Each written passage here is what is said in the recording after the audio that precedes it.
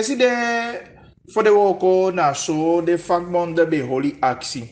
Vanaf na Kerkplein, de Wakagwe na Nationale Assemblée, pedelanga wan petitie gina voorzitter voor na parlement. Pakadati de Wakagodo na kabinet van president. En ook toe wan kopie voor na petitie aso de langa enyana voor na dikito voor na kabinet voor president Masa Ajay Munsi. De taki de halikisa regering piki de gidenga weekend ya fu de se kasani committee ding dat ta wiki monde yo miti de se fi bakana CLO gebouw pe yo taki go mo fawe ko luku fa sani eside na actie die de gezamenlijke vakbonden holy De gezamenlijke vakbonden in vergadering bijeen. De datum woensdag 8 november 2023 om 10 uur in het gebouw van de Centrale van Landsdienarenorganisatie aan de verlengde gemeenelandsweg nummer 74 in het district Paramaribo. Gehoord. De uiteenzetting van de verschillende vertegenwoordigers van de vakcentrales en vakbonden naar aanleiding van de invoering, in werkingtreding en uitvoering van de wetwijziging wet belasting over de toegevoegde waarde en het uitblijven van de gewijzigde belastingschijven, de uiteenzetting van de verschillende vertegenwoordigers van de vakorganisaties met betrekking tot nadelige gevolgen van de wet BTW over de leden van de gezamenlijke vakbonden. Overwegende 1. Dat de maatregelen die de regering van de Republiek Suriname neemt onder het mom ter herstel van de economie enorm kostenverhogend zijn voor goederen en diensten. En dat de kostenverhogingen ongoing zijn voor de leden en hun gezinnen. Dat de koopkracht van het loon hierdoor al lang niet meer toereikend is om te kunnen voorzien in het levensonderhoud van de loontrekkers, gepensioneerden en hun gezinnen. Dat met de inwerkingtreding van de wet BTW, wetwijziging BTW, prijzen van brandstof, kookgas en nutsvoorzieningen enorm gestegen zijn. Met als direct gevolg dat de prijzen van goederen en diensten nog meer gestegen zijn. Hetgeen aangehaald in punt 2 heeft verergerd.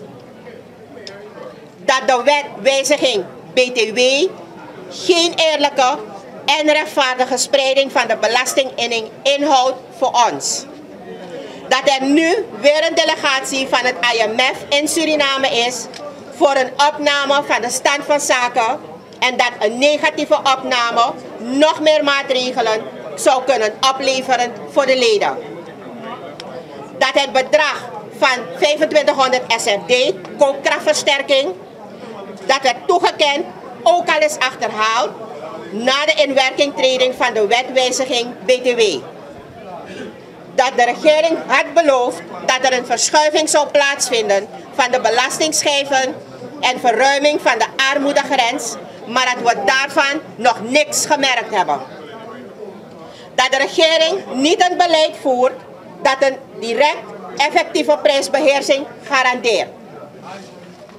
Heeft besloten dat de gezamenlijke vakbonden van de regering eisen de uitvoering van de wetwijziging BTW, voornamelijk de heffing op brandstof, kookgas en nutsvoorzieningen, onmiddellijk stopzet en terugdraait en de belastingscheven op een aanvaardbaar niveau brengt.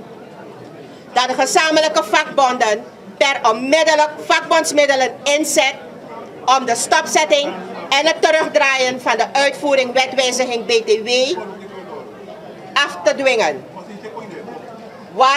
en de aanpassing van de belastingschijven naar een aanvaardbaar niveau worden gebracht. Dat de inzet van deze vakbondsmiddelen niet ophoudt zolang niet is voldaan aan de eis van stopzetting, terugdraaiing van de uitvoering van de wetwijziging wet belasting over de toegevoegde waarde en de wijziging van de belastingschijven. Dat de regering erop toeziet dat er een halt wordt toegeroepen alle manipulerende handelingen vanuit de regering jegens de werkende klasse en gepensioneerden. Dat gezamenlijke vakbonden erop toezien dat de regering bij de aanpassing van de wet BTW het voorstel van de gemengde commissie als uitgangspunt hanteert. En gaan over tot de orde van de dag. De motie is getekend door C47, KOL, de SPB, um, de Veiligheidsbonden, Bundeling van Gezondheidsbonden, de militairen, SAO, het Syndicaat van Onderwijsgevenden, de SWAS, Staatsoliewerknemersorganisatie. Um, we geven aan dat weliswaar nog niet getekend hebben de douanebond, KOB, SOB, omdat zij op dit moment zelf in vergadering zitten. Dit is wat wij aan u willen overhandigen met het nadrukkelijk verzoek dat er goede nota genomen wordt van de inhoud. Alsjeblieft. Dank u wel. Dit is voor de president. Uh, voor ons als volksvertegenwoordiging. Meneer, u wilt wat zeggen? Moet u naar hier komen? Stel na! Ja, dat- Het ligt misschien aan ons.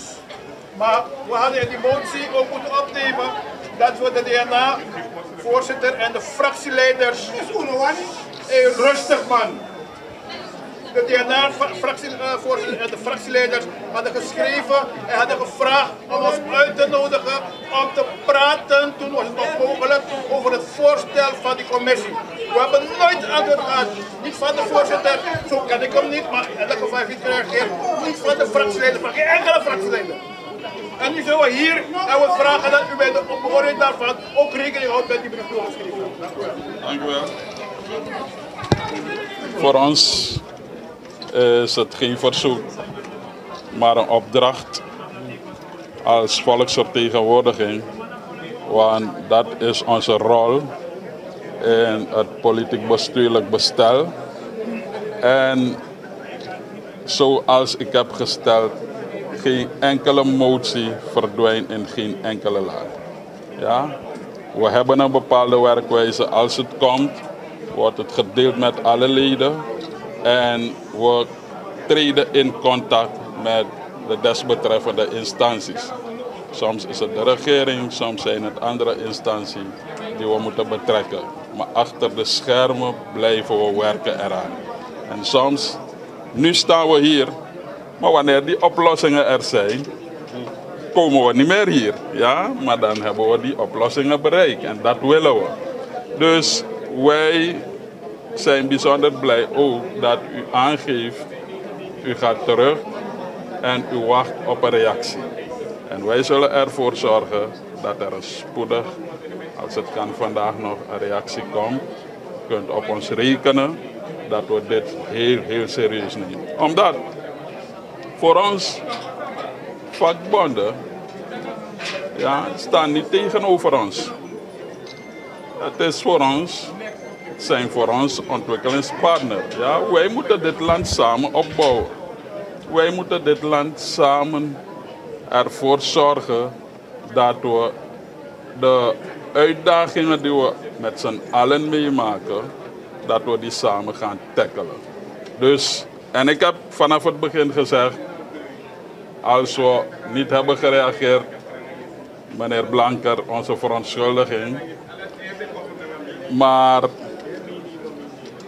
we nemen alles mee. Ja?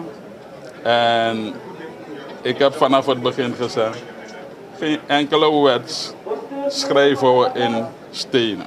Ja? We maken wetten voor de samenleving. En als delen van de samenleving daarmee problemen dan moeten we samen naar kijken. En we hebben begrepen dat er voorstellen zijn. We staan er open om samen met jullie naar die voorstellen te kijken, samen met de regering. Want dat gedeelte van wetgeving is een aangelegenheid van parlement en regering. Dus laten we zitten, ja, laten we blijven treden in dialoog, zodat we kunnen komen tot een oplossing. Voor de rest heb ik niks meer toe te voegen, maar ik bedank u.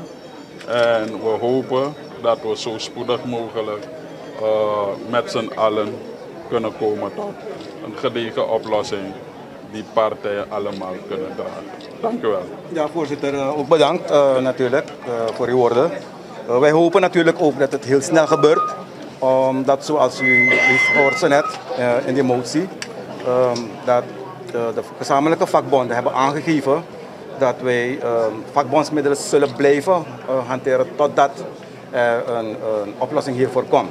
En wij zelf, eh, als deel van die eh, samenleving, wij hebben natuurlijk ook geen baat erbij dat er werkneerlegging is of dat er protesten zijn, et cetera, et cetera.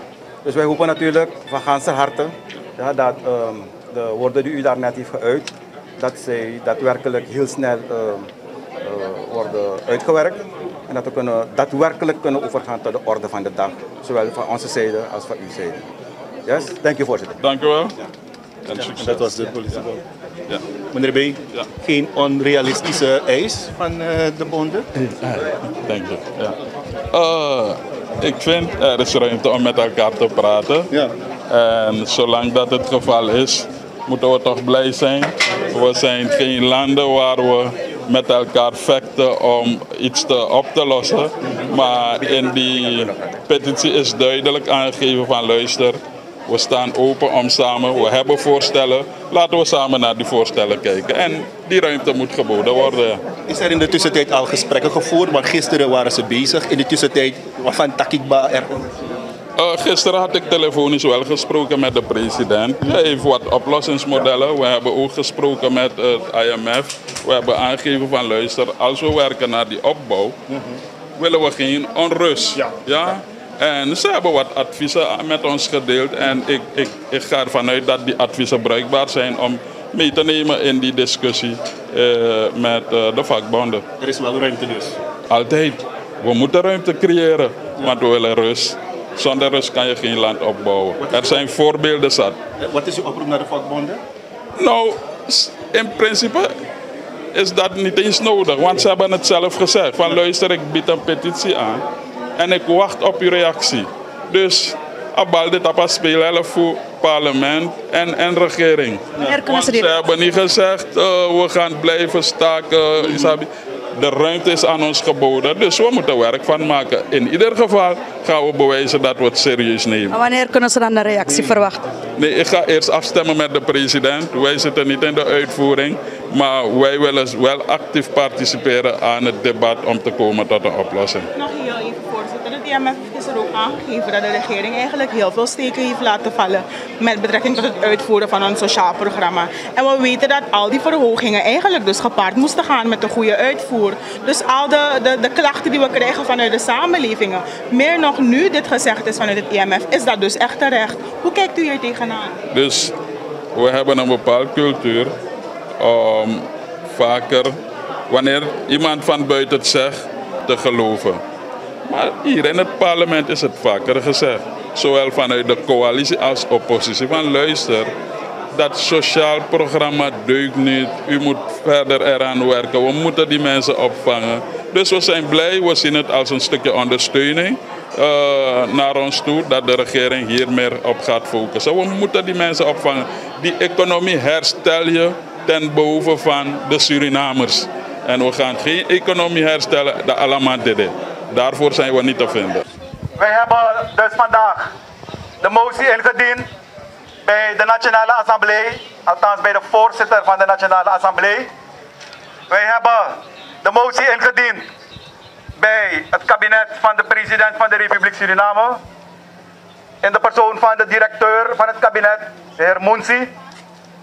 En zowel de assembleevoorzitter als de directeur, die hebben daarbij aangegeven dat zij gelijk werk ervan gaan maken. Respectievelijk dat de assembleevoorzitter eh, de desbetreffende eh, actoren gelijk in stelling gaat brengen. En dat de directeur Moensi er gelijk werk van zou maken dat hij het schrijven, of althans de motie, de president toekomen, zodra de president er zou zijn. Voor ons is het voor vandaag afgelopen. Wij gaan ehm, morgen gaan de individuele bonden afspreken met u. Eh, als u in vergadering bijeenkomt. Belangrijk is dat, en dat is uitgaande van de realiteit, dat wanneer je motie indient, dat je de mensen tenminste een dag de ruimte geeft om zaken in orde te maken. Wij hopen dat wij heel, heel gauw, misschien morgen al, of in elk geval in het weekend nog van ze horen. Maar dus morgen zal uw eh, vakbond u instructies geven voor morgen wat u moet doen.